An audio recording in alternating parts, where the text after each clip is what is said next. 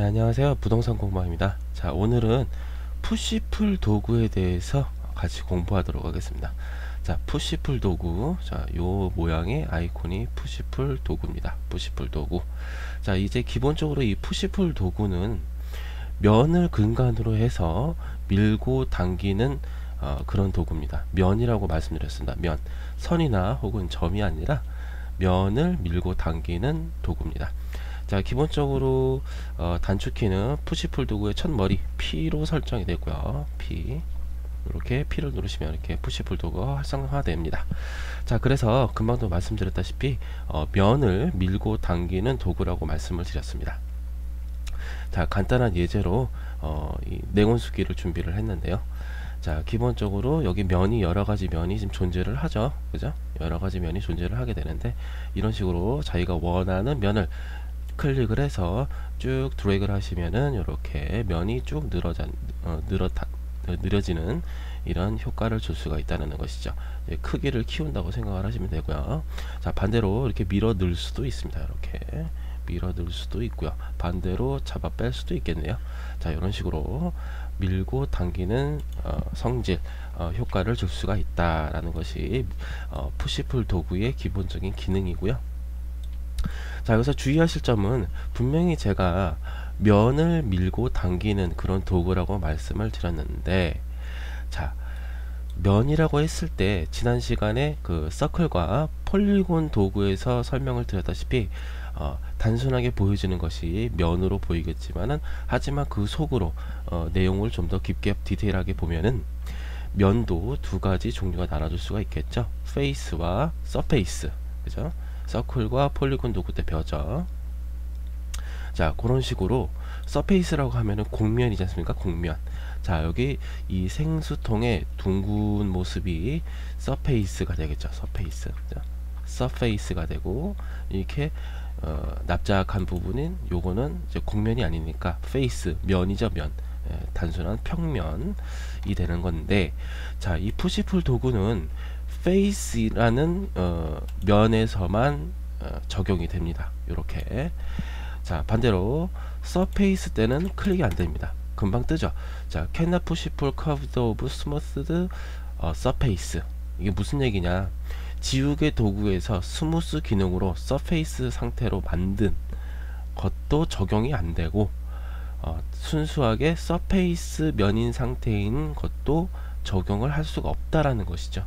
그죠? 예, 요거를 구분하실 줄 아셔야 됩니다. 자, 마찬가지로 이 surface, 요 둥근 곡면은 안 되고, 자, 그렇다면 원은 되느냐? 원 됩니다. 여기, 여기 위는 이제 평면이 이제 face 상태니까, 요렇게 되죠.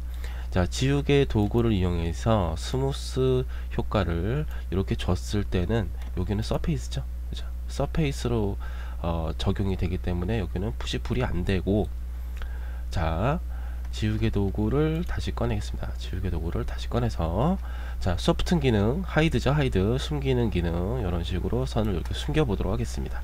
자 그 다음 클릭을 해보시면 여기는 face죠 face 자 smooth 처리된 것은 surface 처리가 됐고 단순하게 soft hide 처리를 했을 때는 face 상태입니다. 그렇기 때문에 push pull 도구가 설정이 되나요?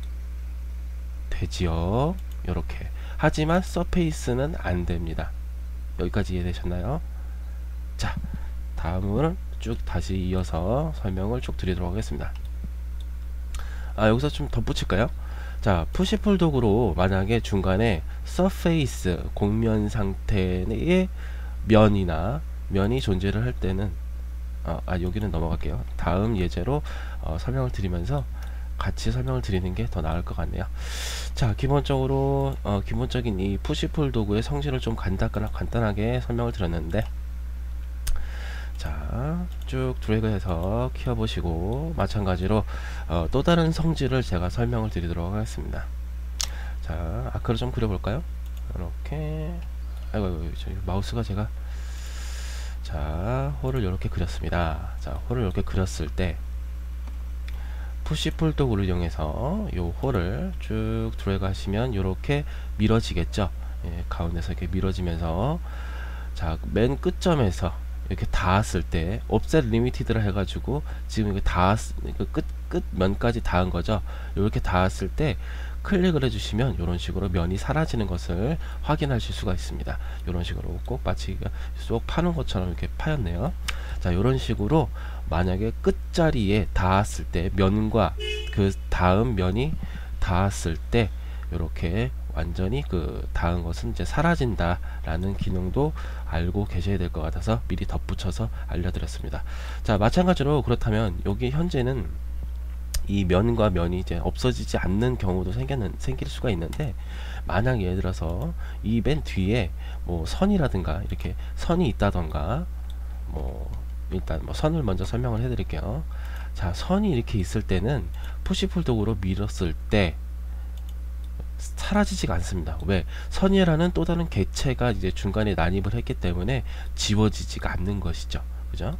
그대로 살아있는 것이 보이시죠? 만약에 이 선이 없었다면은 이 선 이 면이 이쪽 시작면과 끝면에 만났을 때 분명히 사라졌을 거예요. 하지만 선이라는 또 다른 개체가 존재함으로써 이게 면이 사라지지가 않는다는 거죠.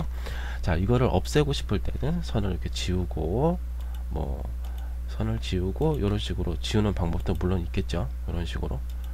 예, 클릭을 해서 이렇게 선을 이렇게 지우면 지울 수 있는 방법도 있을 테고 자 여러가지 방법이 있겠지만 어, 원하는 방, 법으로 지워서 완성시키는 방법도 있을 거라고 생각이 되네요. 자 그래서 금방은 선을 선으로 설명을 드렸지만 선이 아닌 어, 다른 경우도 있을 수가 있어요. 금방도 말씀드렸다시피 여기 surface가 있을 때는 surface 곡면이 있을 때는 이걸로 two point arc로 그려볼까요? two point arc로 이렇게 버즈 값을 아이고 버즈 값을 주고 push pull 도구를 이용해서 쭉 드래그해서 올려보도록 하겠습니다. 자 이렇게 스냅 기능을 해서 간단하게 붙여보도록 하고요. 자 여기 선을 좀 없애보도록 하겠습니다. 자 이렇게 둥근 surface가 뒤에 있을 때를 가정을 해서 push pull 도구를 이용해서 밀어보도록 하겠습니다. 자 더 이상 안 밀어지죠? 자 여기까지 이 곡면 surface가 시작되는 점까지만 이 그 push pull 도구가 밀어진다는 것을 확인할 수가 있습니다. offset limited라고 지금 뜨지 않습니까? 이런 식으로 뒤, 그 뒤에 곡면 surface가 존재를 할 때는 surface 곡면이 시작되는 면에서 에까지 어, limit가 걸려 있다 라고 이해하시면은 어, 네, 쉽게 이해하실 수 있을 거라고 생각이 되네요. 자 이런 식으로 push pull 도구는 여러가지 이렇게 기능이 기본적으로 어, 성질이 이렇게 정해져 있고요. 자 예제는 지우고요.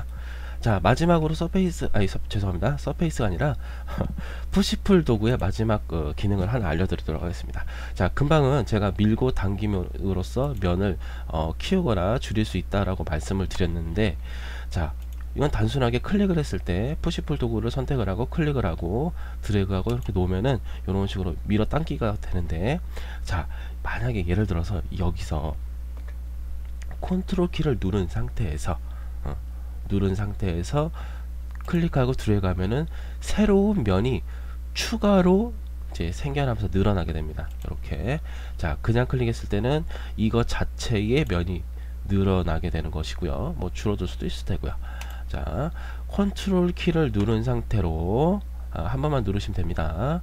누르면 아이콘에 플러스 예, 뭐, 어, 플러스 표시가 좀 돼요. 그러면 이제 추가적으로 어, 어, 푸시풀 도구를 이용해서 추가적으로 새로운 면이 추가가 된다라는 것이죠. 자 여기서 클릭을 해보면 이런 식으로 새로운 면이 어, 새로운 개체의 면이 추가적으로 어, 올라오게 된다라는 것이죠.